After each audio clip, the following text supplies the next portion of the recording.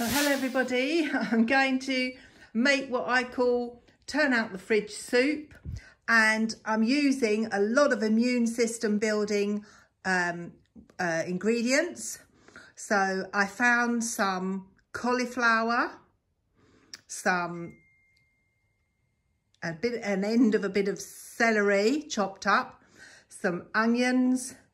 Now this is the leaves from the cauliflower chopped up. They make lovely um, addition to the soup, lots of vitamin C.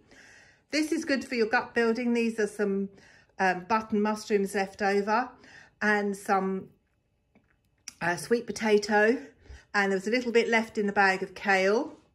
Now I also had a bit of a lettuce left over. Lettuce is fine to cook. It's not just a salad vegetable and it's got lots of vitamins.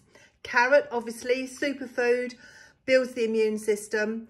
And then to thicken it all up, this is a little bit of the yam mash that's left over from yesterday. So I'm going to put all of those into my slow cooker.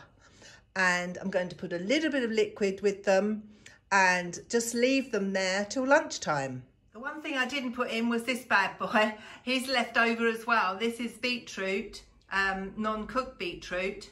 But um, unfortunately, if I put it in with my with the rest of my um, ingredients, it will turn the soup red.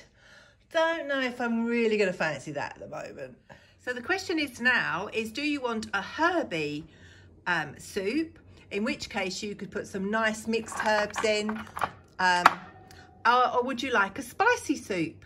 In which case, don't forget the garlic. Um, and you could put some nice spices in like paprika, cumin, Thai seven spice. You can be as inventive as you like. Oh, chilies.